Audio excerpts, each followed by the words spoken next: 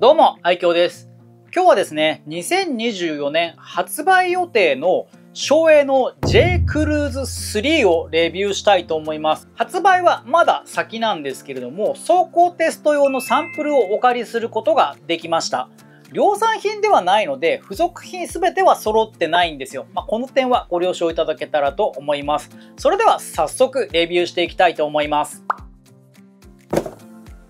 はい、こちらが J クルーズ3が入っている箱になります。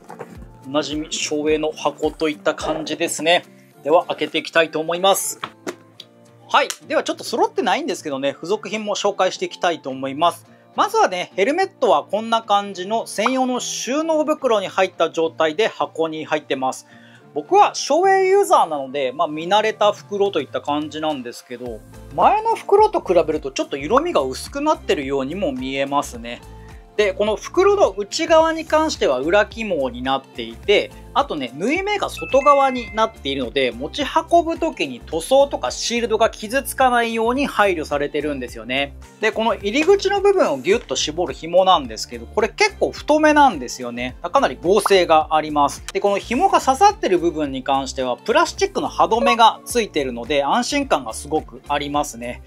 で、こちらちょっと走行テスト用ということでですね、まあ、最初に言ったようにちょっと付属品は揃っていないんですけれども、まあ、多分ね、この付属品の中でも一番大事な防ンシートに関しては、ヘルメット側についてました。省エのヘルメットに付属されている防ンシート、まあ、曇り止めのシートですね。これはピンロックが多かったんですけど、最近は省エオリジナルのドライレンズが付属されてますね。こちらについてるのもドライレンズになります。おそらくね、量産版に関してもドライレンズが付属されているはずです。で、ドライレンズを取り付ける場合ですね、このシールド本体のところにピンに引っ掛ける形になるんですけれども、これメンテナンスしている時に稀に割れてしまうことがあるんですよね。で、公式ホームページで J クルーズ3の付属品チェックしてたんですけども、この予備のピンに関しては付属されるようですね。ピンの取り外しとかに関しては、まあ、ペンチとかでやることも可能なんですけど、プラスチック製で傷つけにくい専用のサービスツールも付属されています。その他にですね、このシールドと本体が接する部分ですね。まあ、この辺りとかそうなんですけども、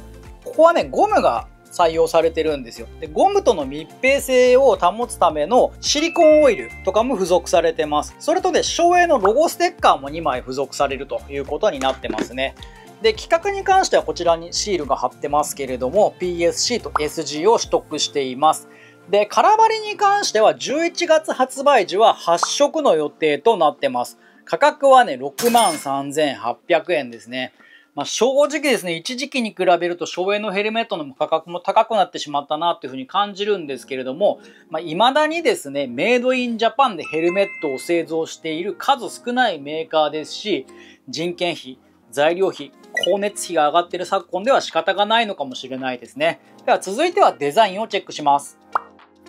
はい。ではデザイン触れていきたいと思います。まずは一周ぐるりとご覧ください。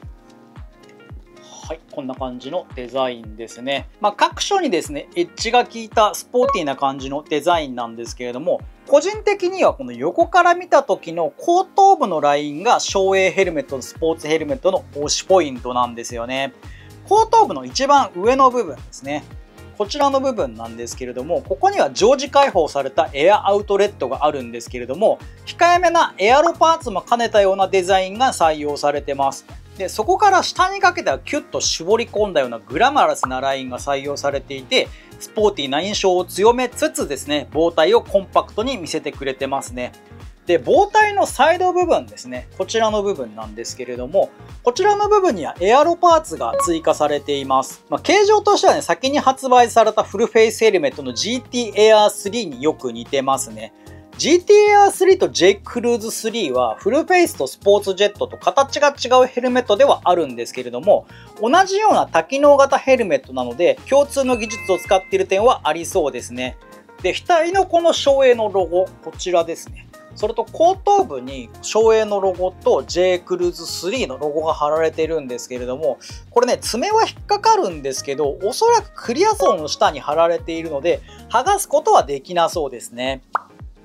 はい、続いて機能性に関して触れていきたいんですけど、まずこのシールドに関しては J クルーズ2から変更されておりません。CJ2 シールドが採用されてますね。で、このシールドの下側にあるリブなんですけど、これはね、合成を高める役割があって、まあ、開閉時のたわみを抑えて操作性を向上し、さらに走行中の下からの巻き上げの風を低減する効果があります。全ページはロックされるようにはなってるんですけども、まあ、正直あまり意識しなくてもこうやって上下させることは可能です。ただ、よりスムーズに開閉させるのであれば、左手でですね、このシールドの左下縁を掴んで、ちょっと広げるような形で開けてあげると、スムーズに開閉することができます。で、ポジションに関しては、この前閉と、それと尾回ですね。こちらが尾回ポジションになります。それと前回の3段階で調整が可能で、まあ、シールドが曇った際とかに関しては、微回ポジションで走ると早めに曇りとかを取ることができるという形になるんですけども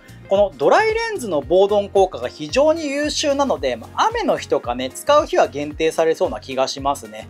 で、インナーバイザーに関してもこちら変更されておりません。QSV2 サンバイザーが採用されてるんですけども、出し入れのためのレバーに関しては新たに追加されたサイドのエアロパーツ部についてます。で、こちらの QSV2 サンバイザーなんですけど、これ、ね、縦の幅も広いので、まあ、サングラスとしての性能の他に、顔を隠して走りたいという人にはとっても使い勝手が良さそうですね。で、ベンチレーションに関しては、このどうしてもインナーバイザーを収納しなければいけないので、この額の部分とかにつけることはできないんですよね。ちょっと頭頂部の方に近いところに付けられてます。で、これは3箇所付いてますね。それぞれのこのベンチレーションのパーツ自体が大きいので、まあ、操作もね、非常にしやすくなっていて、グローブとかをつけた状態でも操作はしやすいと思うんですけれども、これね、段階的な開閉ができるようになっていて、全部で2段階で開閉できるようになってるんですよね。まあ、ベンチレーションを使う時っていうのは結構がっつり開けて涼しくしたいっていう時があると思うので、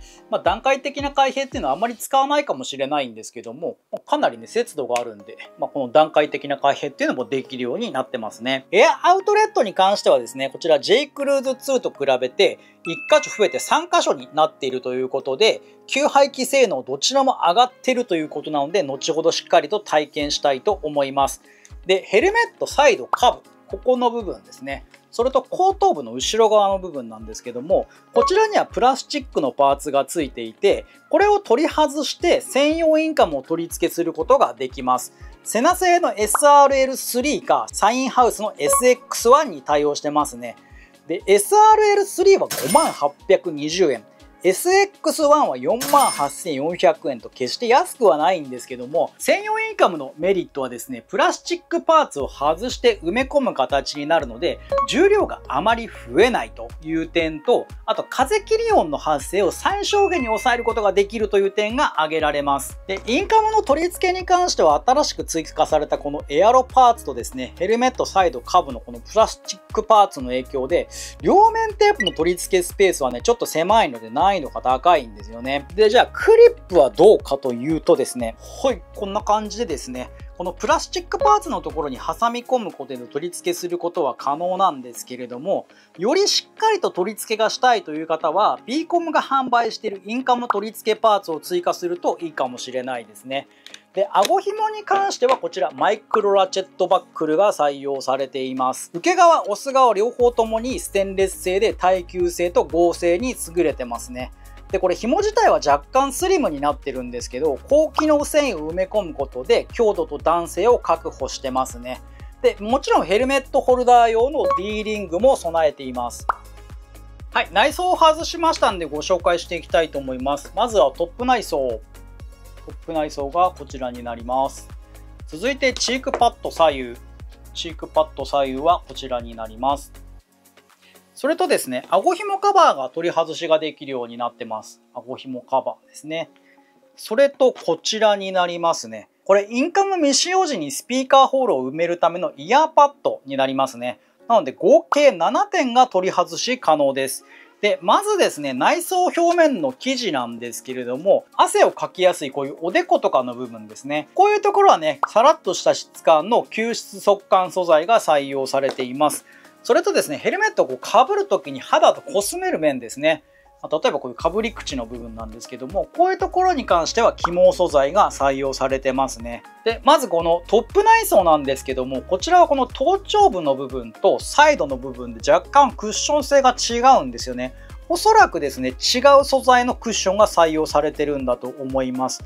で頭頂部のですね風の通り道を塞がないようにこれ起毛素材が貼られてるんですけど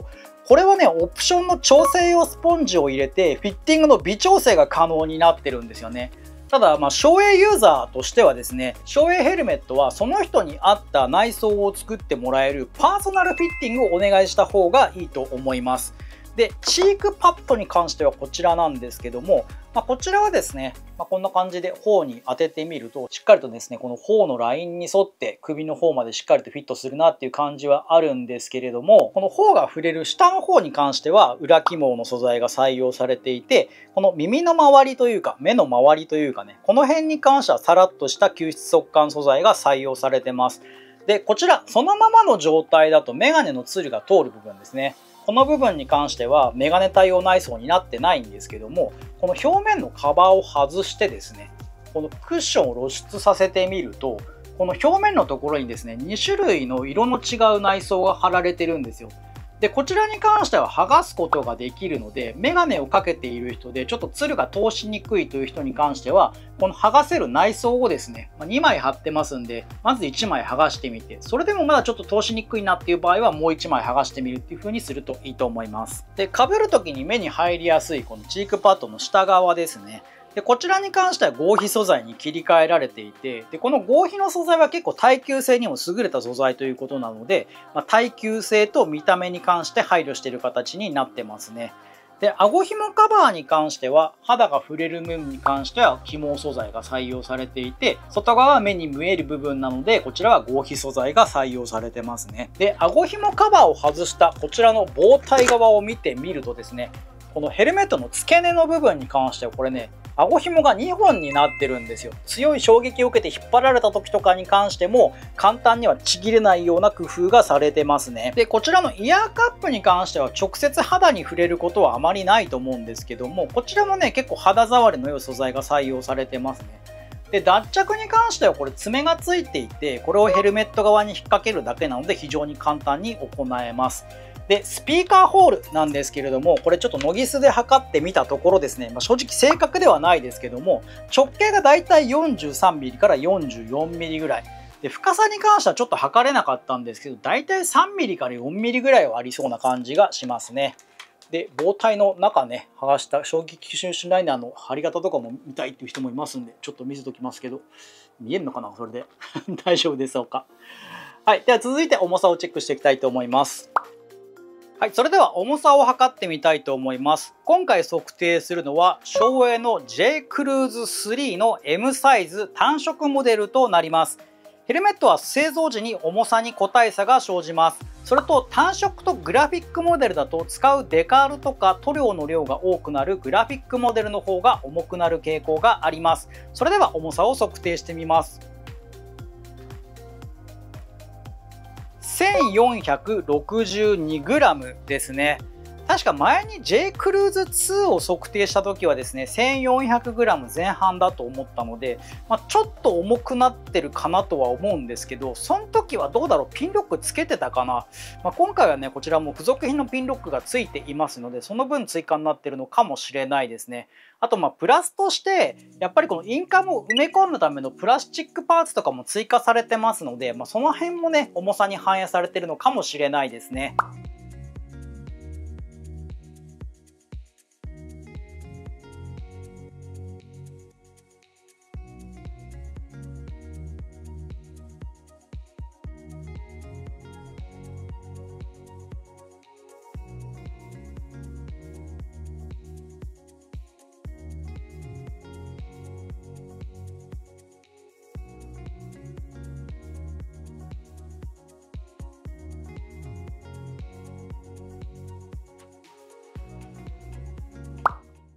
さあ昭和の新型スポーツジェットヘルメット J クルーズ3をかぶって走り出しております。本日の天気は晴れ。ここのところ台風の影響が大きくてですね連日雨だったんですけど久しぶりに晴れたなっていう感じがしますね。ただまだ台風の影響あるんでしょうか。結構ね風は今日強いです。静粛性のレビューとしては結構条件が悪いかもしれないですね。で外部マイクの位置に関してはチークパッドに挟む形で僕の左目の下ぐらいに今あります。乗ってるバイクは CRF の250ラリーですね。気温は本日32度となっております。まずはサイズ感からお伝えしていきたいんですけども僕は省エ粗い兜いずれも M サイズをかぶっております。頭の外周のサイズは56センチなので省エだとね S と M の間ぐらいのサイズなんですよね。なので普段使ってヘルメットはパーソナルフィッティングで少し調整をしてもらっています。今回かぶっている J クルーズ3に関しても全く問題なくかぶれております。普段通りの省エのサイズ感という感じですね。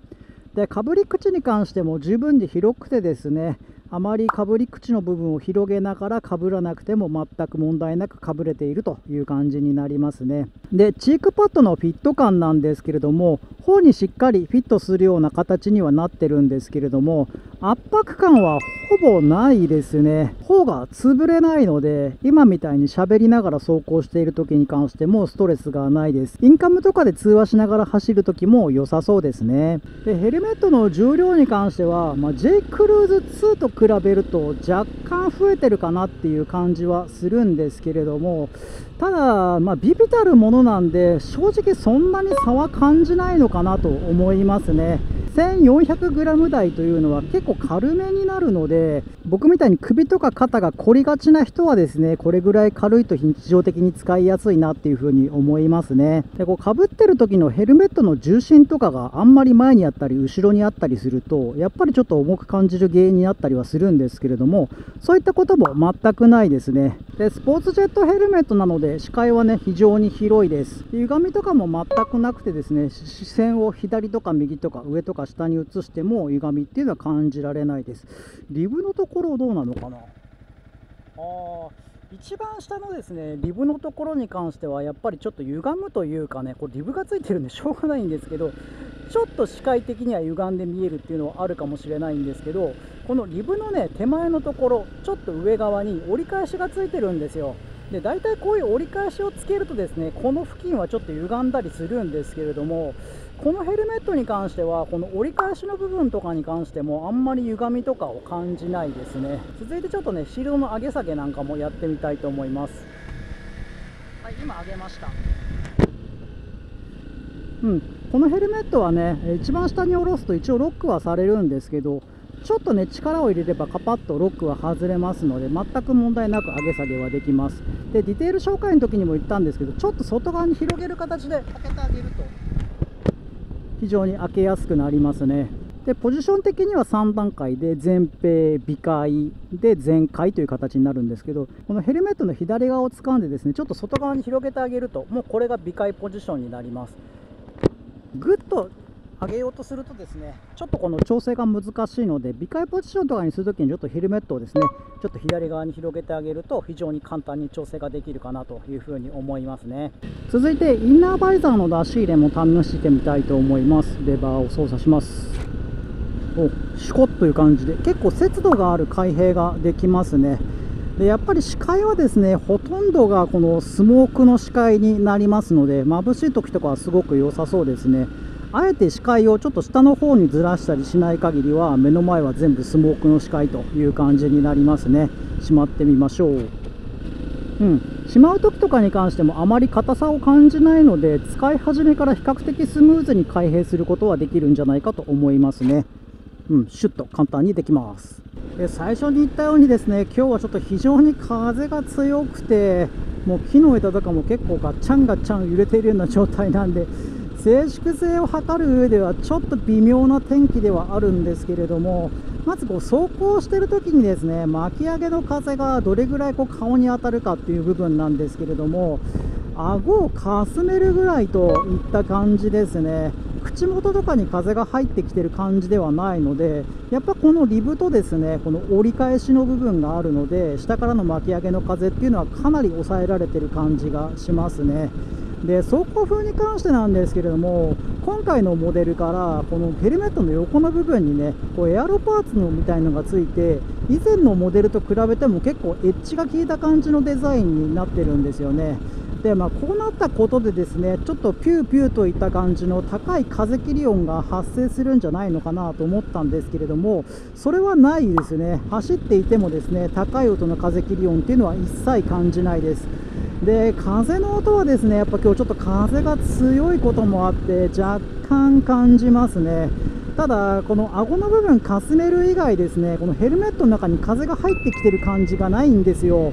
後頭部の辺とかね結構風が入ってきやすいんですけれどもヘルメットの下側から巻き上げてきた風がヘルメット内にほぼ入ってきてないので、まあ、そういったこともあって比較的風切り音風の音っていうのは小さめっていう感じがしますね。で今こうやって喋っててもね下の方がこう空いてる割にはヘルメットの密閉性が高いなっていう風に感じるんですよ。この密閉性の高さがですね結構このヘルメット内の静粛性を高めているように思いますね。はいそれではしばらく走りましたんでベンチレーションを開けていきたいと思います。まずは中央、まあ、これはもうすぐパーツの場所がわかるんで簡単にできますね。で今度サイド。はい、どれもねすごくスムーズに開けることができます。でちなみにこれ段階調整できるようになってるんですけど段階の調整もまあ、やろうと思えばできますね。今、中間のところにしました。まあ、でもせっかくね、体感したいんで、しっかり全部空いてる状態で試していきたいと思います。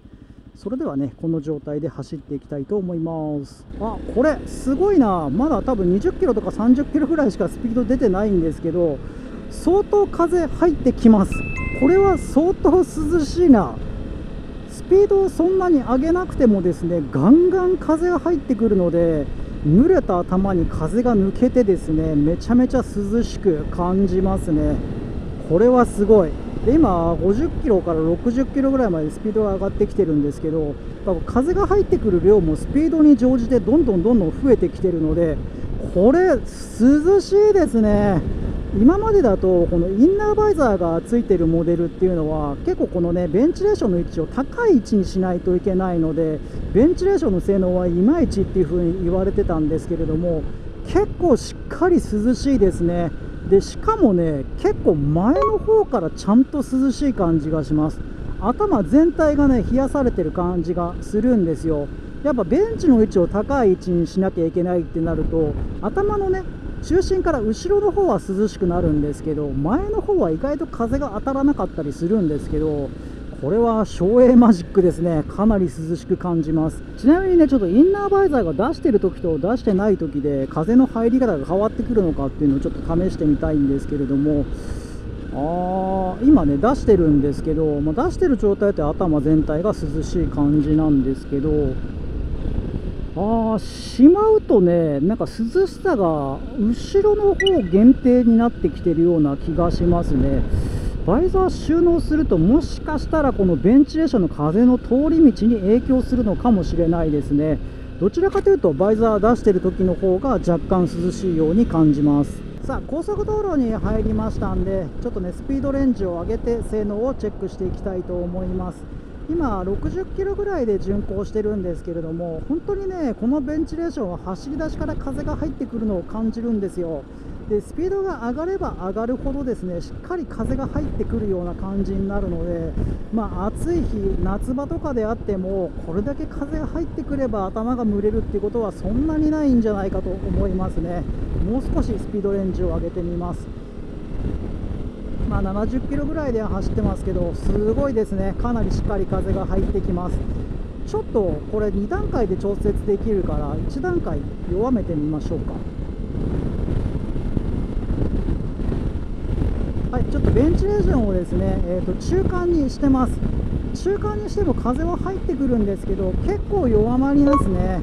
季節によってはちょっと強すぎるぞっていう時とかに1段階締めるっていうのはもしかしたら使いどころがあるのかもしれないですね。正直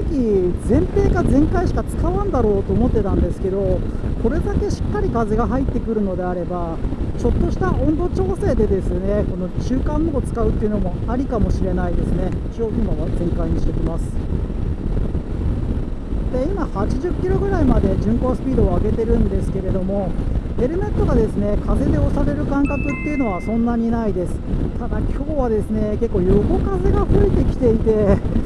前からのこの走行風に関してはそんなにこのヘルメットがですね巻き上がったり押される感覚っていうのはないんですけれどもこうあっちゃこっちゃから吹いてくる横風に関しては多少やっぱヘルメットが振られる感覚がありますね、まあ、これは正直しょうがないのかなと思います。で静粛性に関してももう走行風によるですね風切り音っていうのはそこまでやっぱないんですけどとにかくあっちゃこっちゃから吹いてくるこの爆風。この爆風のですねゴーゴーゴーいった感じはやっぱ多少はあるなっていうのはありますね。ちょっと横向きながら加速してみます。あ結構ね走ってる時にあっちゃこっちゃから吹いて吹いてくる風でちょっとねヘルメットが揺られる感覚っていうのはあるんですけれども走行中ですねちょっとこう進路チェンジするのに頭をがっつり振った時とかに関してはヘルメットが押されるっていう感覚はないですね。やってみましょう。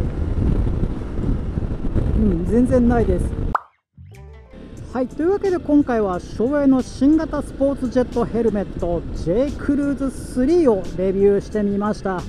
J クルーズ2から J クルーズ3になるにあたって僕が感じた進化したポイントとしてはベンチレーションの性能ですね。かなりねこのベンチレーションの涼しさっていうのはアップしているように思います。でホームページとかを見る限りはですねやっぱ風洞実験とかでよりこのヘルメットのエアロ性能とかは上がってるっていうことだったんですけど正直僕みたいな一般人がですね高速道路を80キロとか100キロとかで走行している限りは劇的に変わったっていうのは感じるのはなかなか難しいのかなと思いますね。で今日はちょっと風が強いのもあって静粛性もめちゃめちゃ上がったぞっていうのもね僕はあんまり感じれなかったんですよね。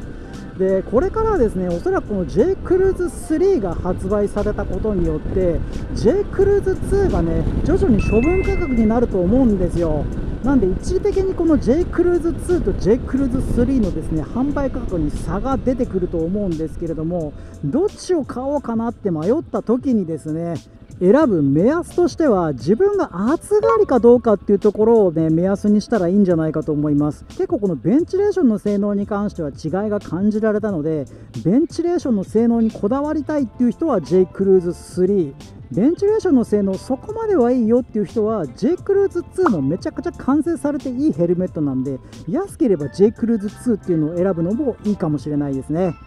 今回の動画が参考になったという方はぜひチャンネル登録と高評価お願いいたします。X と Instagram もやっております。概要欄の一番下に URL ありますのでよろしければフォローをお願いいたします。今回の動画でわからない点があったという方はコメント欄の方にコメントいただければ返信させていただきます。それとメンバーシップもやっております。ディスコードを使ってメンバーとわちゃわちゃやっておりますのでよろしければこちらもご検討ください。それではまた別の動画でお会いしましょう。バイバーイ。